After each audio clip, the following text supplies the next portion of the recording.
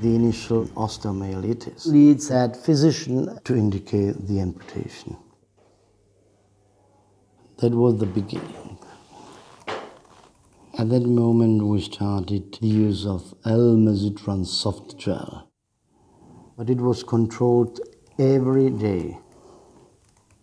I think that the quality of life was really improved because when you rescue the two, it means very much for that patient. He didn't need special shoes, special devices like with the amputation.